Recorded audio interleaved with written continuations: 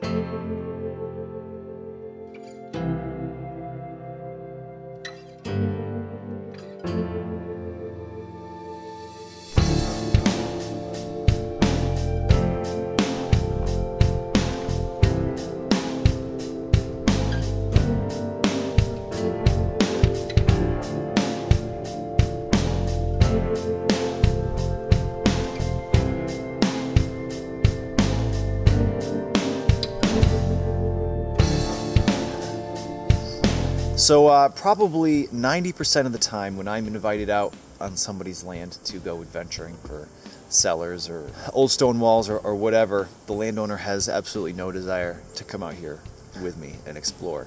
But today, uh, Joel invited me out and he's with us. And we brought a metal detector for him. What would you guess the amount of property your family owns out here? Uh, it was hundreds and hundreds of acres, the whole mountainside. It That's was awesome. A lot of land. There's a ton of interesting stuff out here. There's quarries, there's an old, couple old cemeteries, several cellars. Do you have any idea how old they might be? They're they're old. They go back quite a ways. Cool. So we're actually standing next to one right here. It has uh, a very big footprint basement, and you can see that the center chimney is toppled over. We haven't taken our metal detectors out yet, so we don't know exactly how old, but we're gonna find out hopefully. We have sap lines everywhere out here, which I think is pretty. It's kind of cool. So anyway, we're gonna get our gear unpacked, see if we can find a few things.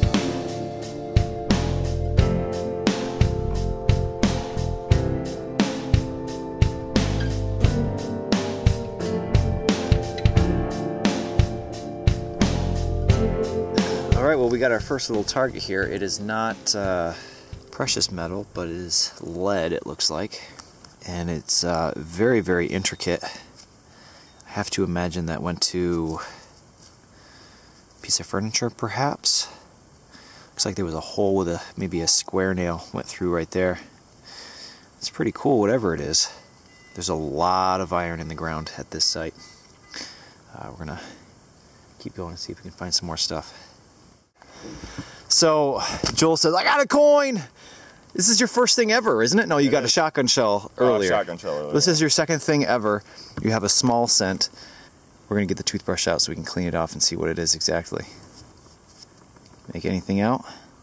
Not really. It's definitely old.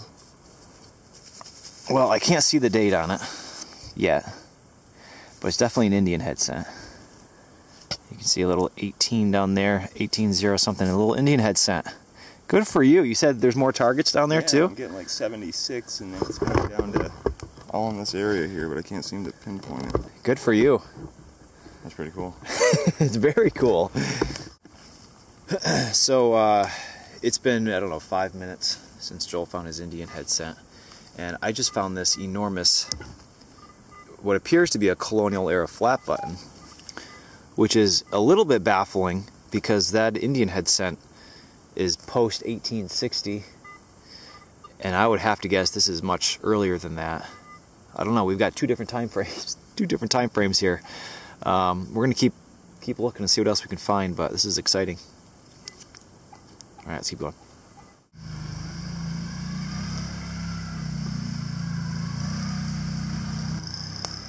Uh, well, we were just chatting with, uh, I don't even get his name, four wheeler guy. Uh, he's clearing the lines. Trees fall on all these sap lines throughout the year, and they said that it's easier to clear them now than it is in the uh, spring when there's still snow on the ground. But he was uh, pointing out a lot of these uh, maples, the leaves have these little circles in them. You can look at this. And uh, inside of those are these little grubs, little uh, little maggot creatures. Maple leaf cutters. Maple leaf cutters, yeah, that's what he called them. Look at all of them, too. They're everywhere. It's too bad. I don't remember ever really seeing those, but I wasn't really looking for them. He would be looking for them because it's their business, but it's pretty cool. Vermont maple syrup. If you've never had, you're missing out.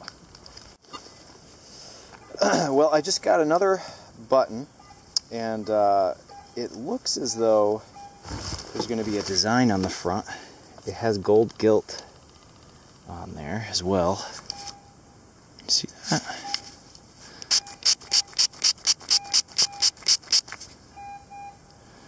Yeah, I think it's a flower. Look at that. That's a pretty one. I'm sure that there'll be a back mark on here. Something about how many times it was gold plated and all that. Uh, treble gilt, you can see that. That's what it says. Treble gilt. Three times gold plated. The very pretty flower on the front. Nice. Very nice one. All right, let's keep going. Check it out. It's a little gear. This would more than likely have been out of a pocket watch. I would have to guess. Little brass sprocket or, or gear. Cool. Wish I could find the whole pocket watch. I've never found a complete pocket watch. It's on my list. Lots of pieces. I probably have enough pieces to put one together, but cool. 85, 86. 85, 86, uh, right in 89. the thick of all this, these stinging nettles. Yeah. Watch your elbows. Oh, there's a ton of roots. I know that. Hand, Oh, there it is. big old copper coin. Good for you. Awesome. That is so cool. That is awesome. Geez, you're making it look easy. yeah, that's exactly what that is. Here, I'll let you do the honors again. Looks like it's in better shape than that penny. Yeah. Oh yeah, look at that. That side's actually in really good shape. Say one cent. One cent. Yeah. That's amazing, man. it really is. Look at that. Big old copper. Good for you. Geez, you're going to uh, wind up going out and buying a metal detector. Probably.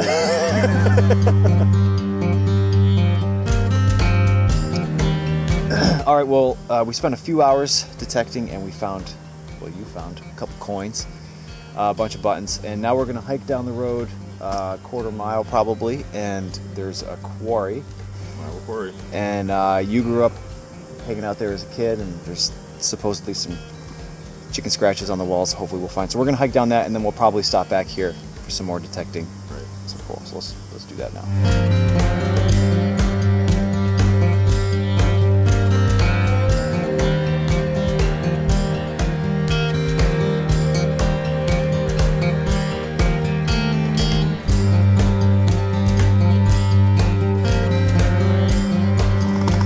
Up through this kind of real thick brush to try to find the marble quarry. And this is definitely part of it. Some the block.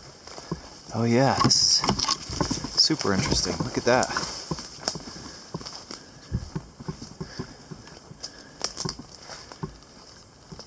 I remember, like, the thing about the horse dying was somewhere carved in here.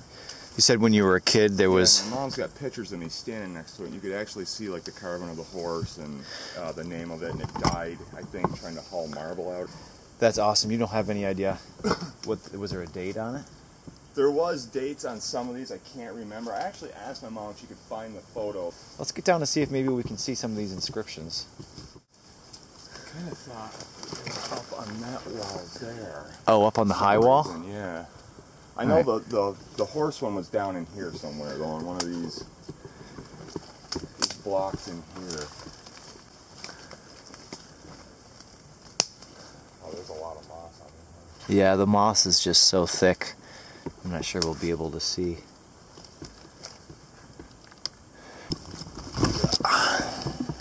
Oh, yeah, right there's another one. Oh yeah, I see him. Looks like it says EF, maybe, right there. Yeah. And right there is where it says H. Wilcox. That one's Wilcox, yeah. engraved in there pretty good. That definitely looks like an EF. Can't tell if there's something else. Yeah, we can see just a, well, maybe a W. It's hard to tell what that is. Man, this is best, must have been a dream to play in when you were a kid. Oh, yeah, it was awesome. I used to come out here all the time. Yeah, I would have too. All right, this is pretty awesome. Ooh, look, a cave.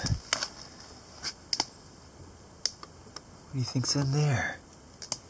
Should we get a flashlight? Let's see. Yeah.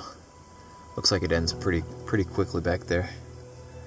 That's pretty cool. Do you think somebody threw a handful of gold coins in there? Yeah. We're not to stick our hand in to find out. awesome. Let's keep moving.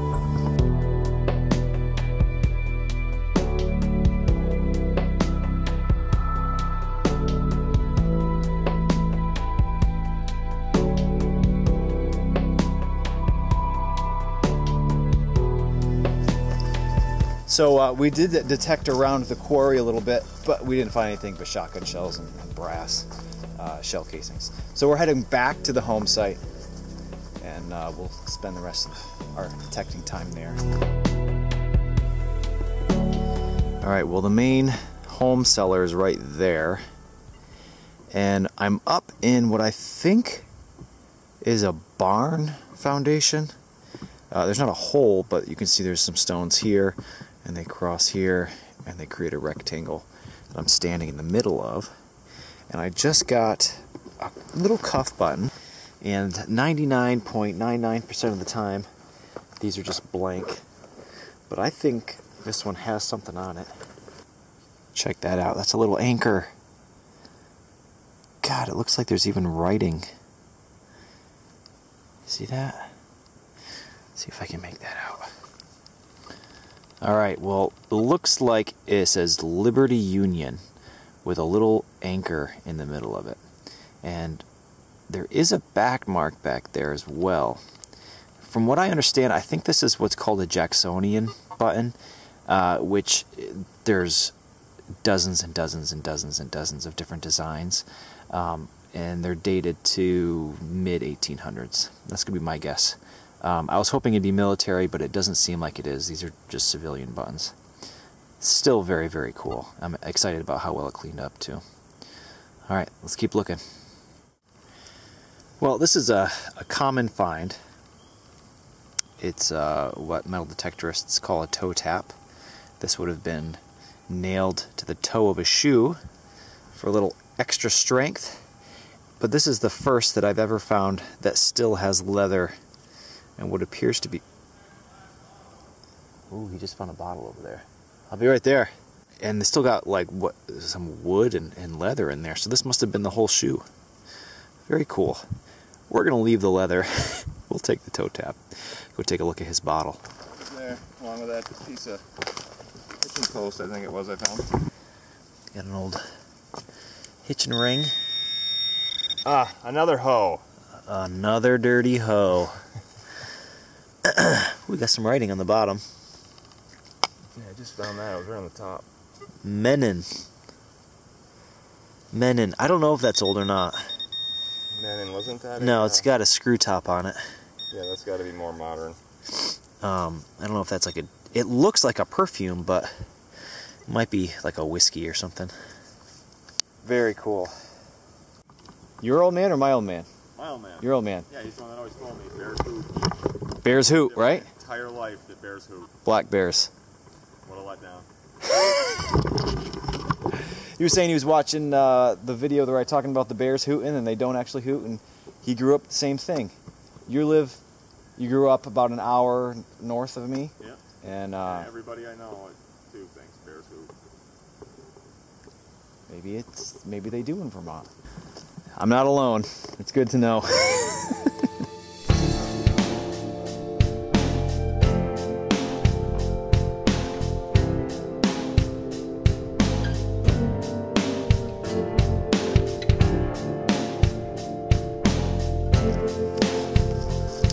So I just got another one of these little Jacksonian uh, cuff buttons, and I think that it's different than the last one, than the anchor one. Uh, maybe it's just a flower.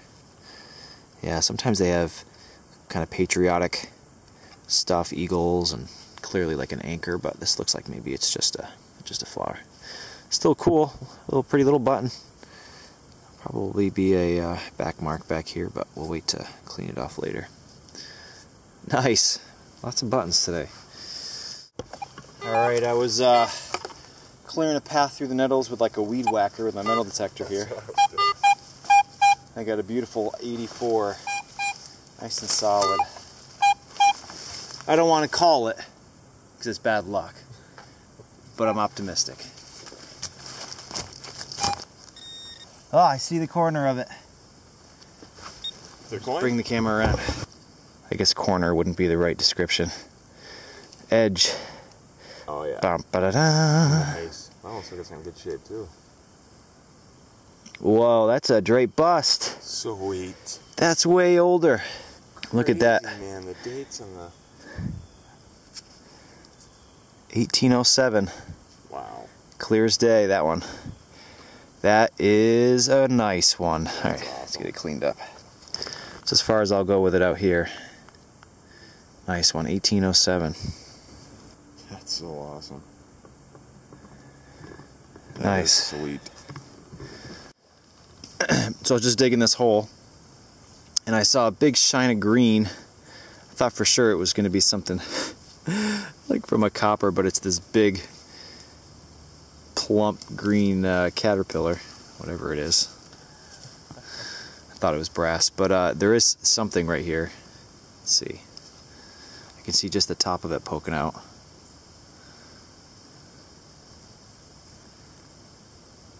Whoa. What the? What do you think? I did find something else similar earlier, which I didn't show. Yeah. Geez, is that the same thing? Yeah, looks it. It is the same thing. Well, kinda.